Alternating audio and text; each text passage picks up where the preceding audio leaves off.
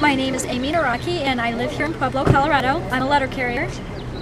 I believe that the Employee Free Choice Act is so important to rebuilding the middle class because the middle class is the end of this economy.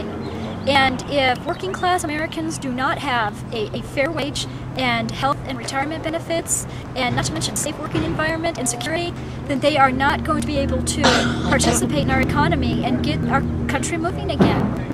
We were here today to thank Congressman Salazar for being a co-sponsor of the Employee Free Choice Act. Um, Congressman Salazar has been a great friend to working families, and we're very grateful to him and to his staff uh, for signing on as a co-sponsor.